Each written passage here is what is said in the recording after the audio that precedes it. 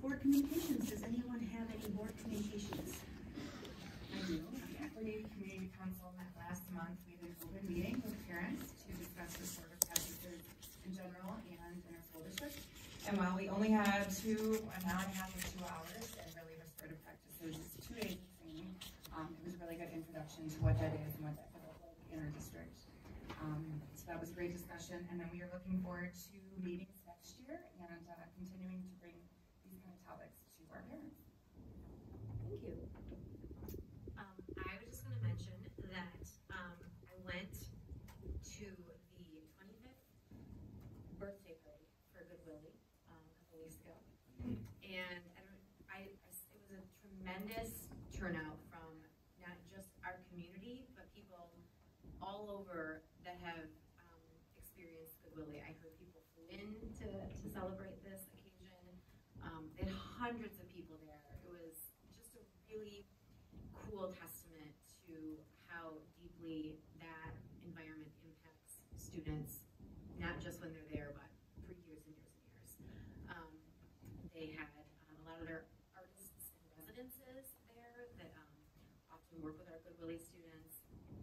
Um, they had um, just so many of the people who have worked in the buildings through the years come out um, and pay just kind of like, or just say they have loved being part of the building. And so I just, it was a really fun event and a really great way to celebrate um, something that is definitely just a really a crown jewel in our district. So I really commend those teachers and everyone who works out there for putting on an amazing event. I can't help but add, because as you mentioned, people flew in for this, that um, one of my daughter's best friends from Goodwillie flew in just for the weekend from Switzerland for that event. So, I mean, that was very important to her and to many who came to that event. Well, then did the kid get Megan almost flew in from Africa as well, but we're kind of glad she opted against that. So that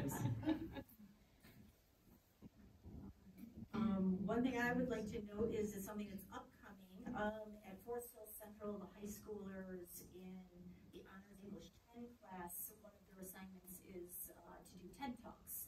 And most of the kids do them just for another grade or two within the school and do it. Um, but for some of them, they, uh, they apply to do their TED Talk for the community in a thing called FHC Inspires. And that is coming up the Tuesday after Memorial Day, which I believe is May twenty-eighth. Um, it's here at the Fine Arts Center, um, and there's gonna be about thirty kids from Forest Hill Central that give just absolutely amazing and inspirational TED-like talk speeches. So if you have the opportunity to come and check it out, it's, um, it's